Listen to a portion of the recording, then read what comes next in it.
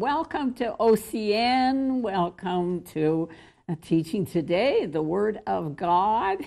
And it's exciting because my husband just taught. Um, we're here at the studio and talking about taking um, the offensive. And I didn't know, well, he's using the same scripture that I am. So, but my title is Dangerously Armed. or armed and dangerous, dangerously armed. So, you know, he gave the points on taking the offensive, and I thought that is so excellent and why we need to take the offensive rather than defensive.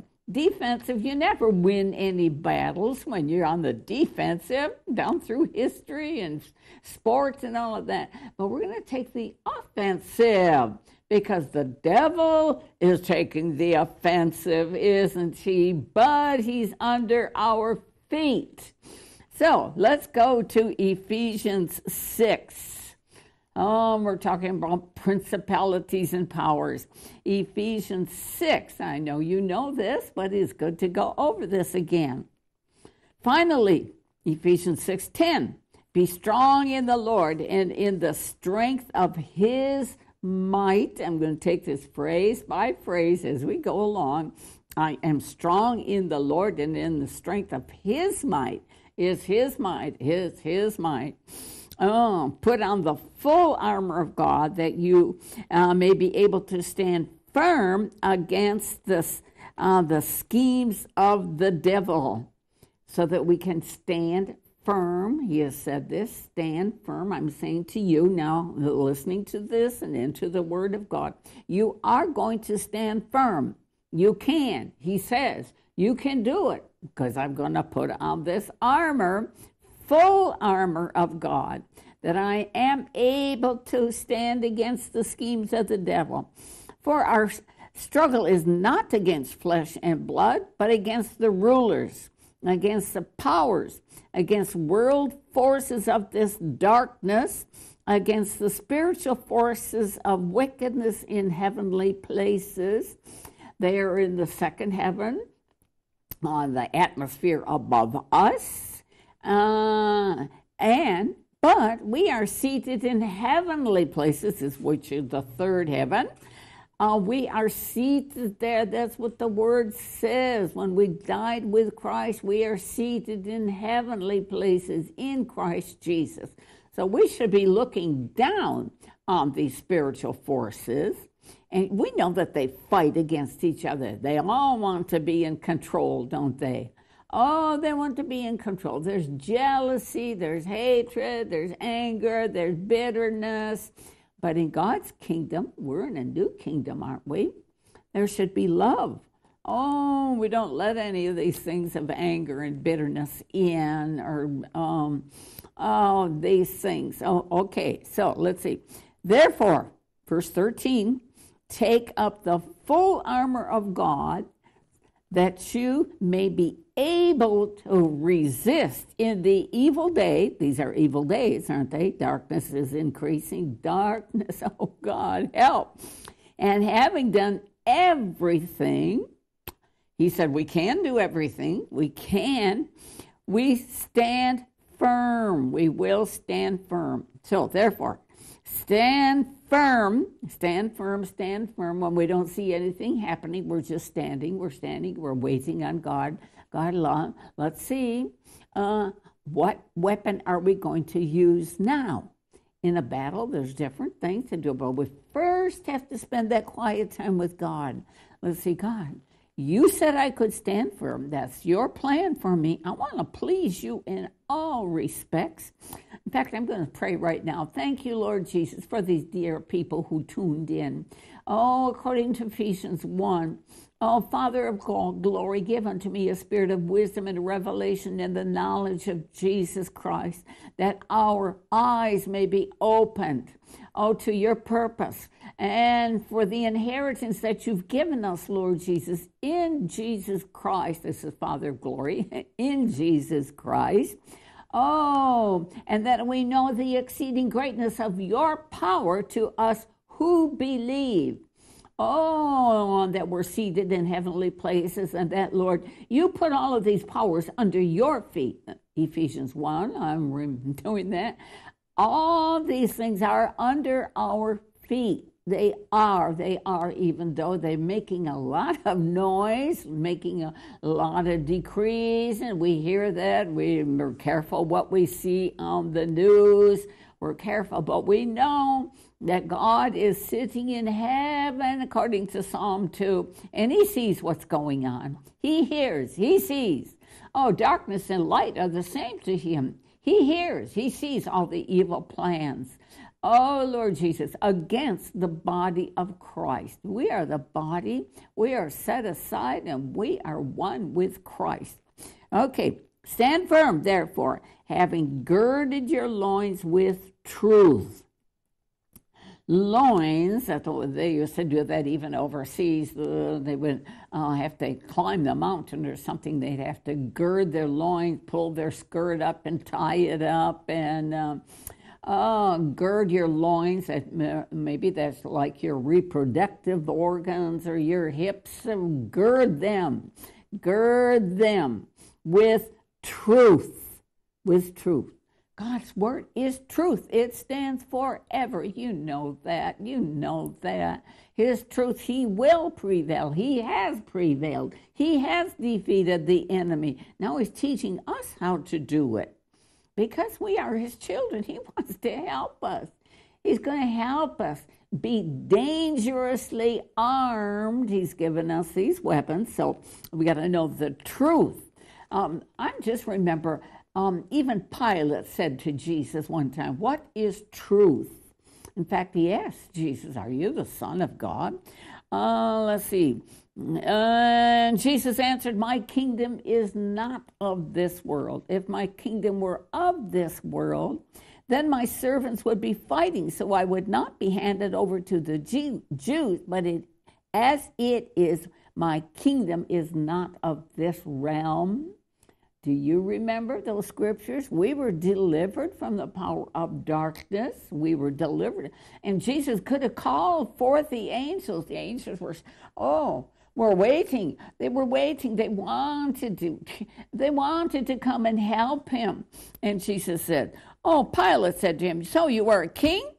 Jesus answered, "You say correctly. I am a king. For this I have been born, and for this I have come into the world to testify to the truth.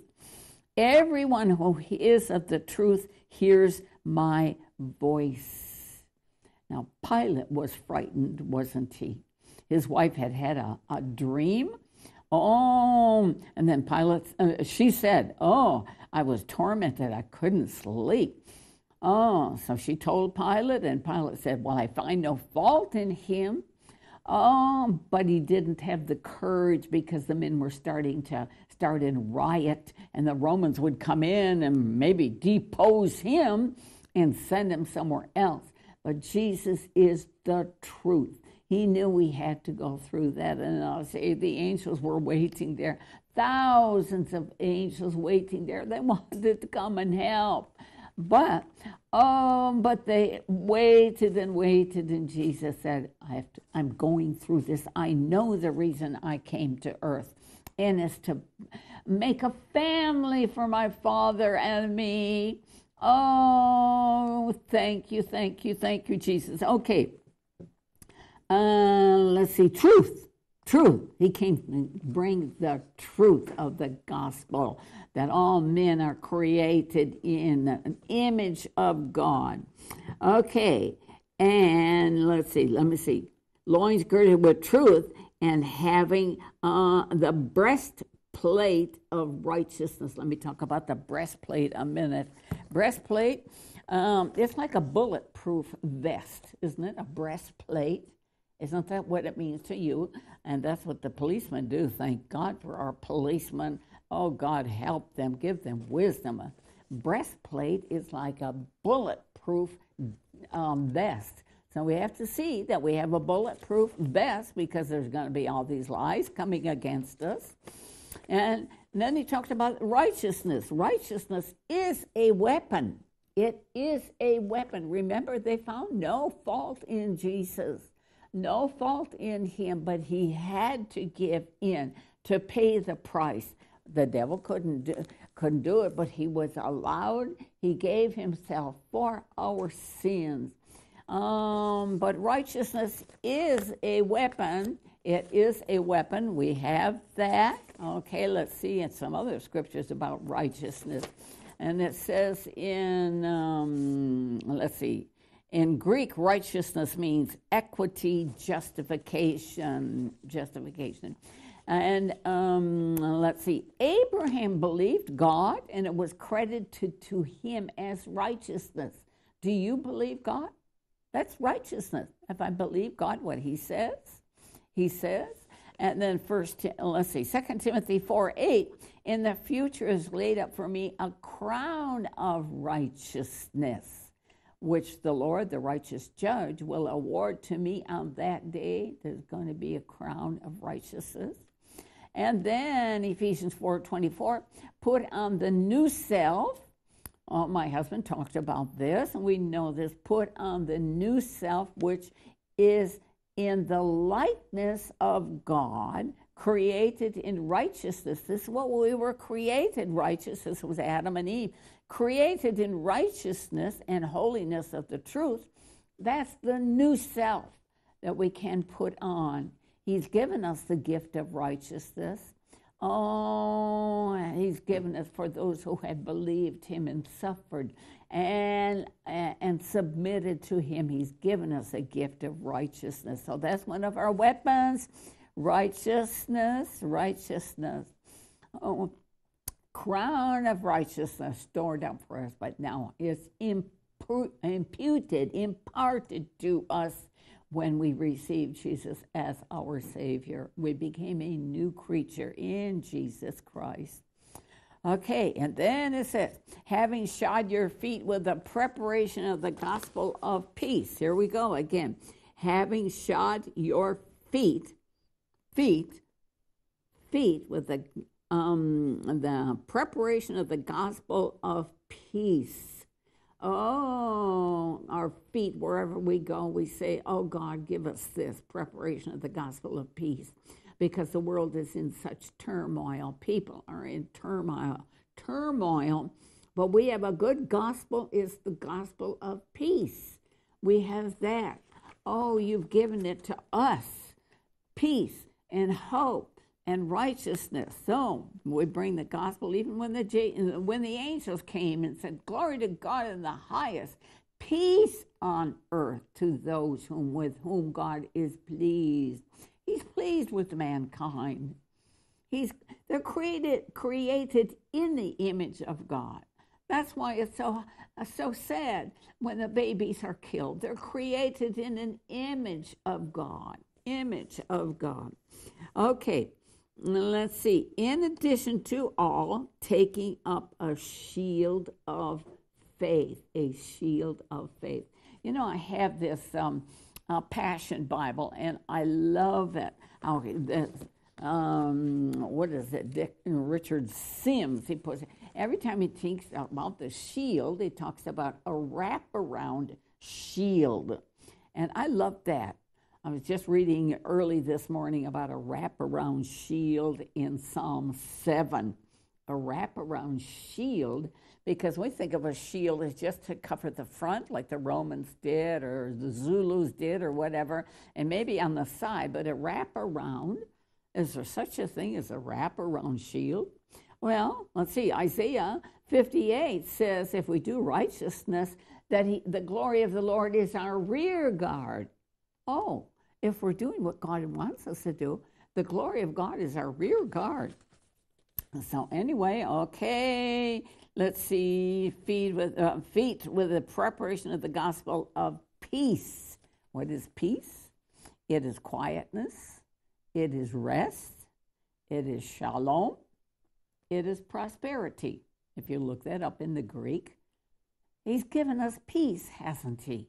Oh, but we don't see it. Oh, we don't see it. What's happening on the streets? Truth has fallen down in the streets. There's no justice. They're clamoring for justice, but God hears the cry of the abused. He hears the cry of the needy. He will bring justice. He will. He's given us that. Oh, that righteousness and that justice. Um, okay, gospel of peace. Now, verse 16. In addition to all taking up a shield of faith, that's that wraparound shield of faith. Now, remember those things. It is impossible to please God without faith. You want to please Him. I know you do, dear friends. I know you do, but it's hard. But He's given to each man a, a, a measure of faith, but we need to use it. And this is the time when we can use it because the devil wants to rob, kill, and destroy, doesn't he? Want, Wants to put sickness on you, and what he's put on you, oh, you're using your faith, using your faith. It is a shield of faith. Okay, with which you are able to um, extinguish all the flame, flaming missiles of the evil one. It's not just one or two, there's going to be flaming missiles there. He will say, Oh, you're rejected. You're in the wrong country. You need to go to another country, or you need to find another job. You need to find another wife or husband, or whatever. He's going to get those flaming missiles. But with the shield of faith, we need to know who we are in Christ. We are in Christ. We are called and chosen and anointed for these last days these last days. I'm thankful God has raised me up and, and, and kept me healthy by that fountain of life in me. Out of my innermost being is a fountain of life. And, and even, um, let's see, my husband taught on the fear of God uh, a short time ago. And that scripture came out to me. The fear of God is a fountain of life. There's a godly fear of God. It's not, oh, I'm so uh, scared of Him, but I have a godly fear, a godly fear. Oh, Jesus. All and extinguish all the flaming missiles of the evil one. So, what has he said to you? Oh, you're no good. Oh, you need to leave. You need to find a different job. You, you, you're poor.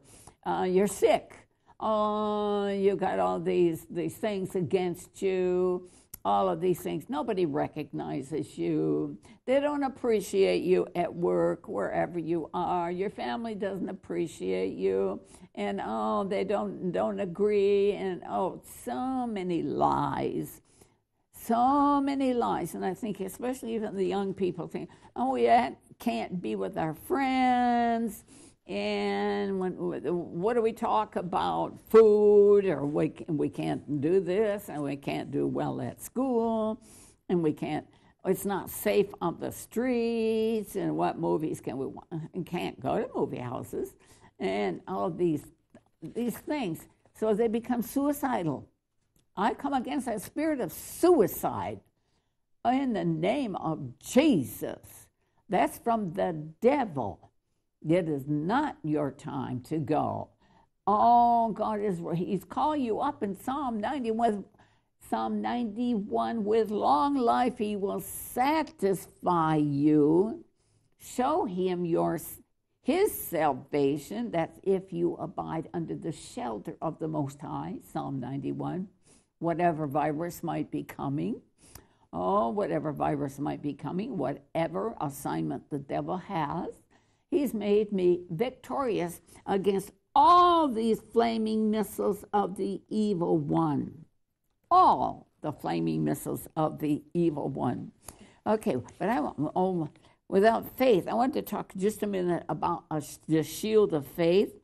Uh, let's see. Someone said, faith is the currency of heaven. Currency, like it's well, we give to God. We give to God. That's in currency. It's the change, the money, the dollar bills, the whatever the currency is of heaven. And without faith, without any of that faith, we can't please Him. Faith in the Burmese language is Yojijin.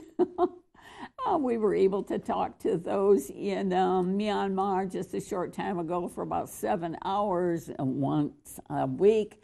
Oh, talk about faith. They need their the oh the army is coming out. They're on the streets. They are killing the people there. Oh, the young men that we supported in Burma. Oh, no, he had to leave everything to go hide. He had a Bible school there. I don't know what happened to the students. I don't know where he is. They cut down him off Facebook. But I just trust God. He is strong in faith. God is going to protect them. He is an armor of faith. And then the other ones in northern Burma there that we talked to. Oh, in the city, I won't mention, but anyway, the, uh, the military is out there. The military, and they want the power. They don't want the people to say anything. They don't want them demonstrators. They say, don't go out on the streets there. Oh, Jesus, Jesus, Jesus. Faith is a currency of heaven. But they have faith. We've planted lots of seeds there, and I have faith that something good is going to happen. That God loves those people. God loves those people. God loves America. I believe God is going to do something. Okay, and let's see, and then to verse 16. And uh, let's see, um, where did I go? 16, the sword of the Spirit, verse 16, which is the word of God, and which is, um, that's, well, in addition, taking up the shield of faith and take up the, uh, here we go to the helmet of salvation. Now, the helmet uh, they put on the head, you think that's a uh, offensive offensive weapon? Yes, it is. Because the devil wants to put all these lies in your head. But you put on this helmet. Jesus put the crown of thrones on his head, didn't he? To give us a new mind, a mind of Christ. And then we cast down all of this imagination, everything raised up against the knowledge of Jesus Christ. Oh, so I have a helmet of salvation And the sword of the Spirit, which is the Word of God. It's a sword of the Spirit. Now we just keep it here, and we're here. And when, when we can fight when the devil comes to tell us a lie. We have the sword of the Spirit, which is the Word of God. I am a new creation in Jesus Christ. I am a new. I used to be in your kingdom, and you cannot control me anymore. No, I am weak, but I am strong in the power of His might. He lives in me. I am His temple. I am his temple, so devil, leave me alone, you liar. I am not rejected. I am a vessel of honor only by his grace and mercy. And if there's anything wicked in me, my God is going to show that to me. Oh, when any of this pride comes up, or pride comes up, or this judgmental spirit, or anything, or jealousy, the Lord's going to show me. The Lord's showing me day by day as I surrender to Him. Okay, the Word of God, and take up the sword of the Spirit, which is the Word of God. Now, I, I believe you got plenty scriptures there. Therefore, if any man is in Christ, he's a new creation. Old things have passed away. Behold, all things become new. As you read the word, it's going to come alive to you because the Spirit's in the Word, the Spirit's in here, and God wants to speak to you. He loves you, dear friends. He keeps you in His mind. He remembers you that we are weak, but we were grafted into the vine. We were grafted in. And yes, He's pruning us sometimes. Oh, we had to go through this COVID thing. Jack and I got just this very slight case of it, thank God. But we had the Word of God was our medicine. Worship was our medicine. And we just relaxed. Worship the Lord. Worship the Lord. He is such a good God. Such a good God. Okay, we did that. We got the helmet. We have the belt of truth. Let's see. Loins and having a shod our feet with the proper righteousness that He's given to us, His righteousness shield of faith, uh, extinguish all the flaming darts of the evil one, eject, rejection, whatever lies raised up against the knowledge of Jesus Christ. Okay, taking up the helmet, the helmet to protect our minds, because the devil wants to. That's the battleground, isn't it? In our mind. In our mind. If he can take over our mind, then he's got us. He's got us. Oh, but he can't. We are dangerously armed because we have a helmet, the gospel of peace, helmet of salvation, gospel of peace. We have peace. We are not hopeless. We are not hopeless. God is going to do something. Oh, in fact, I was just praying, um, even, uh, let's see, when was this? In, in March. Oh, um, this is March 21 gave me Isaiah 56, verse 1. Thus says the Lord, preserve justice, do righteousness, for my salvation is about to come. He said that, and this is Isaiah, 600 years before Christ. Salvation is about to come, but Isaiah didn't know exactly. Oh, for his kingdom Uh, for unto us a child is born, unto us a son is given, and the kingdom shall be on his shoulders, and there shall be increase of his government shall not cease. So it's going to happen, it's going to happen. Okay, on righteousness, salvation is about to come, and my righteousness to be revealed. Righteousness, righteousness is going to be revealed. Things that are hidden are going to be revealed. And he said to me, Blessed is the man who does this, and the Son of Man who takes hold of this. That means if I believe salvation is about to come, salvation is about to come. There are some loved ones that I know that you have salvation. They are not walking with God, and you love them. So we bind those evil spirits. We have authority over evil spirits. We're seated in heavenly places, and like Jesus, those evil spirits are under our feet. Under our feet. Oh, and this is the victory that overcometh the world, even our faith. Even our faith. So we bind those evil spirits and loose the Holy Spirit for your loved ones. And we loose the, the healing angels for your body, dear friends. Oh, Jesus. No condemnation now, no condemnation. You have the helmet of salvation, the sword of the Spirit, the word of God in your mouth. Oh, He is your Redeemer. You're called, chosen, and anointed for these last days. um, the word of God in your mouth is going to quench all the flaming darts of the evil one. All of the one. My faith and patience you inherit the blessings. Oh, thank you. Thank you, Jesus. You are so good. Okay, did I cover it all? Let's see. Now, with all prayer and petition, pray at all times in the Spirit. Yes, that's another gift He's given to you to pray in tongues. I believe you are healed praying with all kinds of prayer. My husband many different kinds of prayer. But we're in the prayer of faith. You did, and you were born again because He found you. He didn't give up on you, dear friends. He didn't give up on me. He waited until I finally surrendered to Him, and to whom much is given, much is required. But He gave in Romans 5:17 said to whom much is given much is required. What is that Romans 5:17 but we reign in life through one Christ Jesus. Gift of righteousness. We reign in life. That the devil is under our feet. Sickness is under our feet.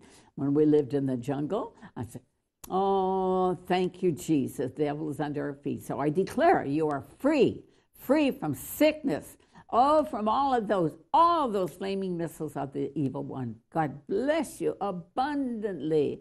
Give to OCN, give to OCN. Your, your blessings will multiply. Hallelujah. Hallelujah. We love you. Bye bye.